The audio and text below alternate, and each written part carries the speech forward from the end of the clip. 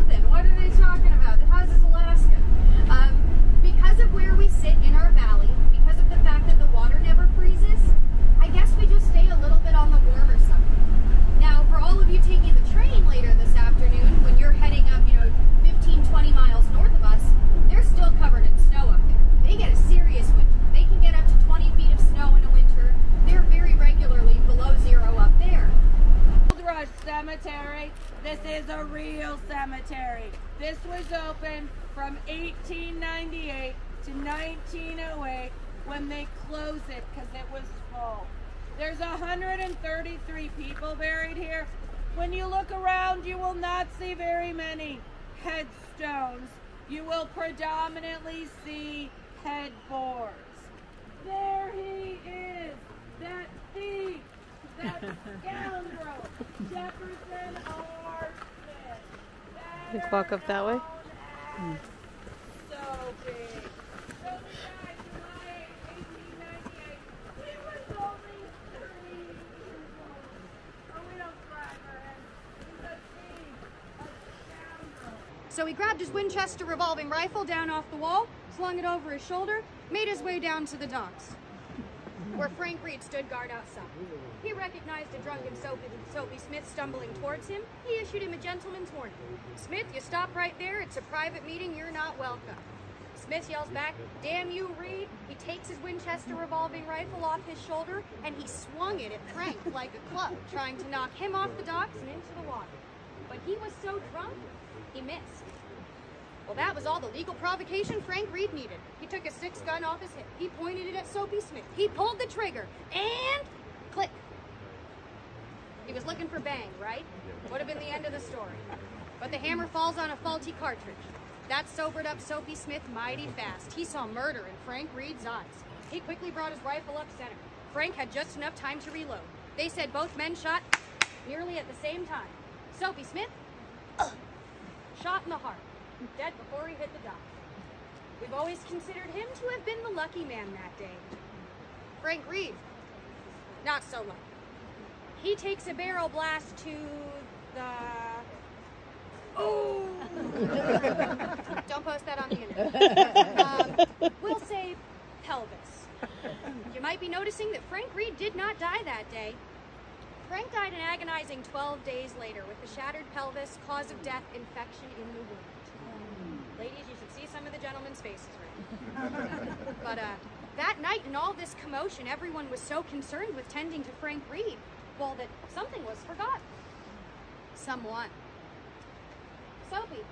He just lied on the docks in a pool of his own blood. It was only the next day lovely ladies disembarking steamships, while they weren't very impressed, that they had to walk over that bloody dead guy just to get to town. When they went to the mayor to complain, he didn't seem to care either. He just said, welcome to Skagway.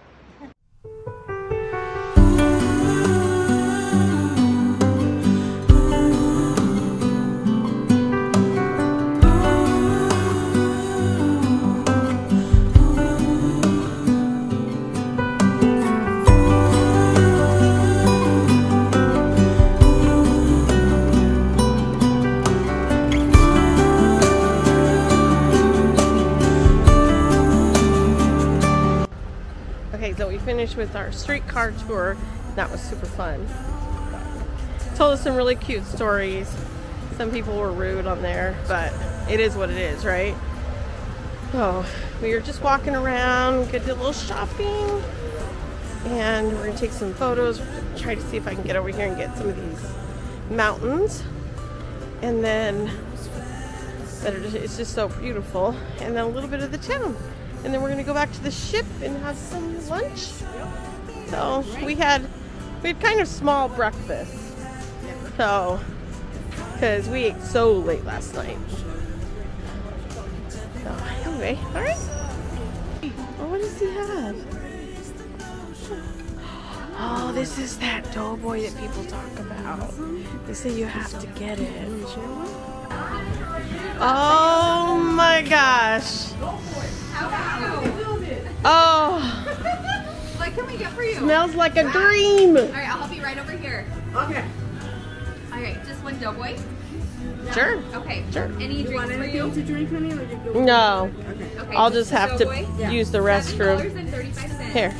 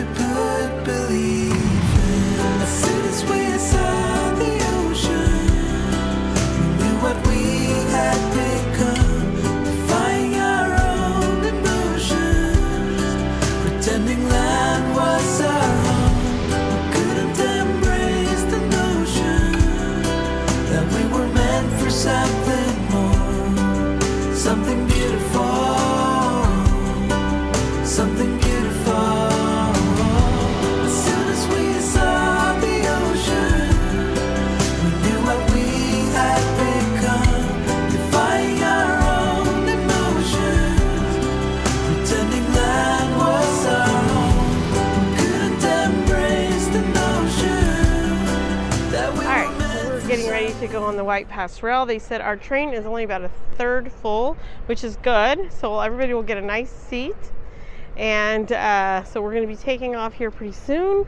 And wanted to uh, look and see all of the different things over here while we're waiting. They paint the rocks so you can actually, like when a ship comes in, they'll put it here on the rocks of the different ships and when they came, the date and stuff. So it was pretty cool looking.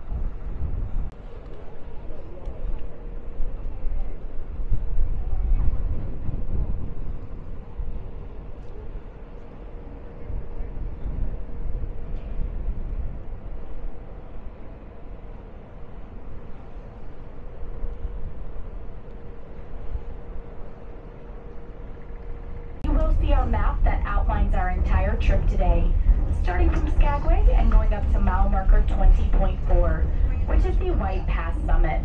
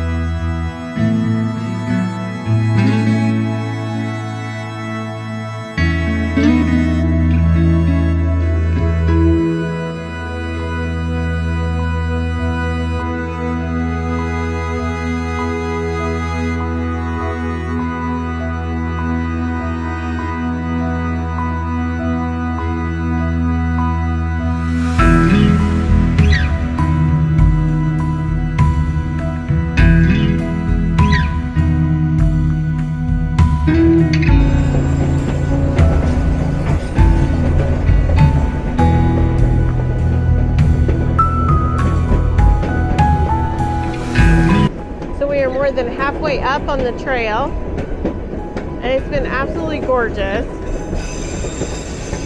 I'm like trying to keep up with all the cameras and the phones and everything. It's been amazing, amazing.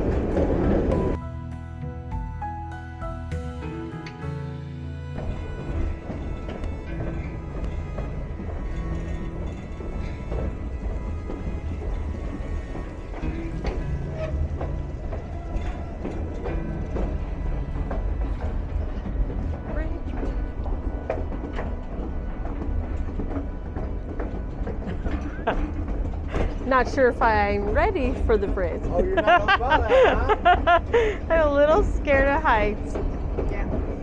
Well, it's only like 3,000 feet. That's not too bad. The mountain's leaking. yeah.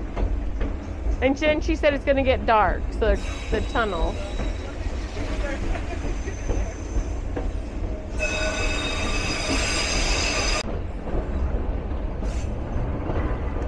Oh, that's not too bad.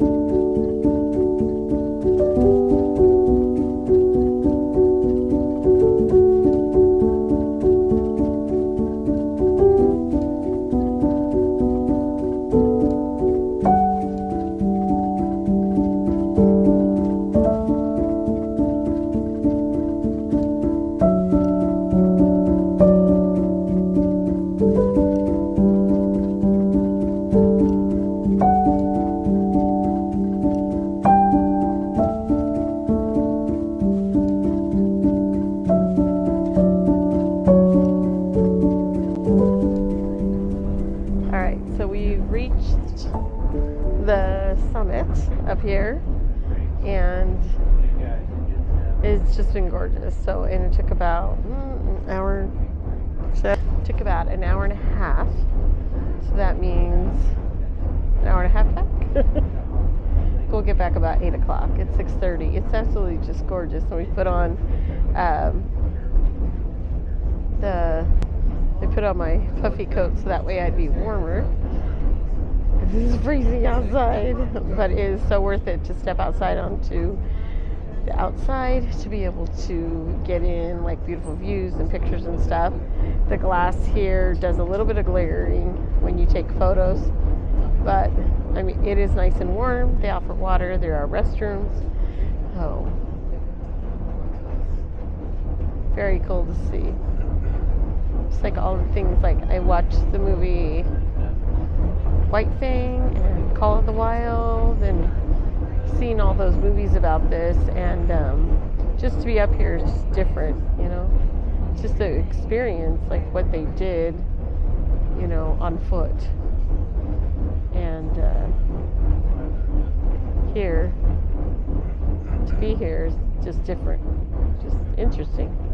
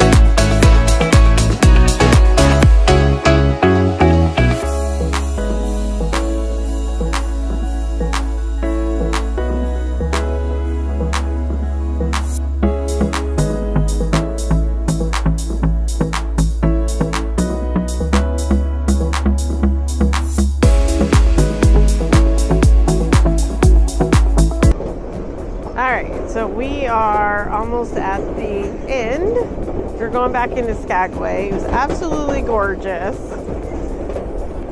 And uh, it's worth it to do it one time. I don't know if you, if this is kind of your thing, it's very cold, it's very wilderness, snowy, but the whole history of it all is very interesting. Now, I will say that if you're outside here, you're not going to hear all the narration or the, and it's not narration the whole time, but you miss some things, information that's going on inside. So you could be missing that. But otherwise, it's amazing to see and view and hear the history of how the gold rush, uh, what they struggled through, what, you know, what the supplies were, the requirements, you know, everything. It was just amazing to listen to. And so, and, and you know, the, how many people actually hit, made it up there and the gold and the animals that suffered and stuff. So there's so much history of just trying to get that piece of gold, you know. Oh, all part of American history. Oh, anyway, all right. We're almost down to Akin to Skagway, and it has been an amazing, amazing adventure.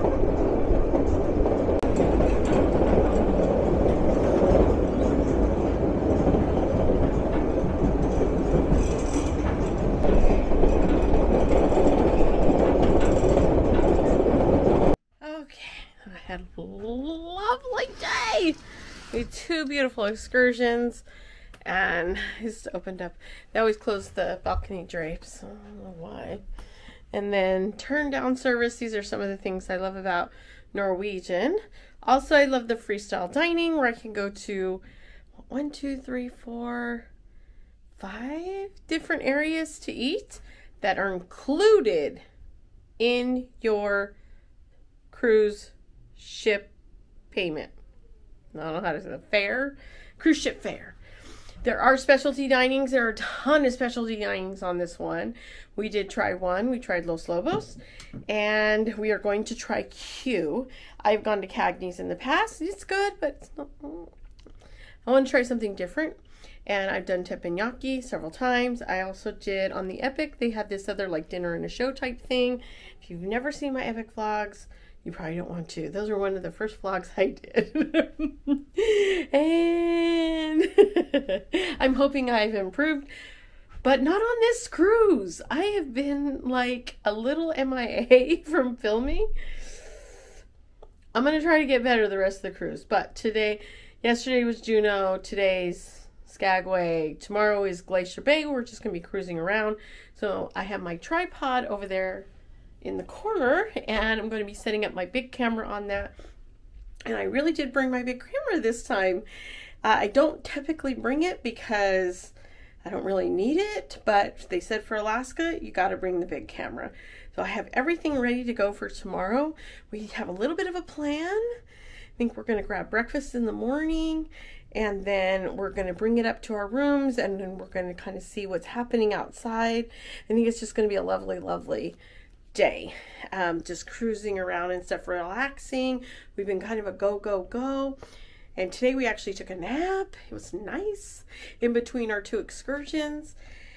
Oh, anyway, we're back. It is almost eight o'clock. Oh, uh, we are to go. I got to make some reservations.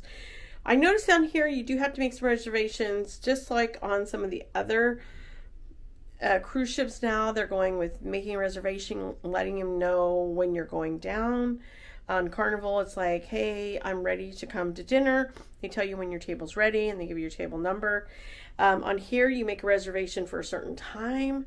I literally walked up to the Manhattan room last night, made the reservation right there, standing there for eight o'clock, and it was like eight o five, and they're like, "Come on in." So I mean, you can do that, but we're gonna go try Taste. We went to Savor for lunch. We went to Manhattan room. We've gone to Los Lobos, and today we're going to go to Taste. Taste and Savor are pretty much the same, but um, thought I'd show um, Elsie, I almost called her Letty, Elsie a little bit, something a little bit different. Do have a cruise planner for tomorrow already. Not a cruise planner, what do they call it? Freestyle planner. And there's something in here that we may do. I've been wanting to go to the thermal spa, the thermal pool and stuff. And they have a ladies' night in the spa. For tomorrow night, it's only $39. And if I did a day pass, it was going to be 79. So this is only $39 and um, anyway, I'm gonna try it. And if you do this for the $39, usually the 30 if you buy something else like a massage or something during the pamper night, usually that money is credited. And I think that's what it says here. $39 and it's redeemable for a spa credit if you book for like a massage or manicure or, or something in the spa. So anyway, Alrighty, so we're going to check this out. We're going to check it out and see uh, uh, if she's, I'm to see if Elsie's interested. If she's not, I'm thinking about just going on my own, but I'm considering doing that.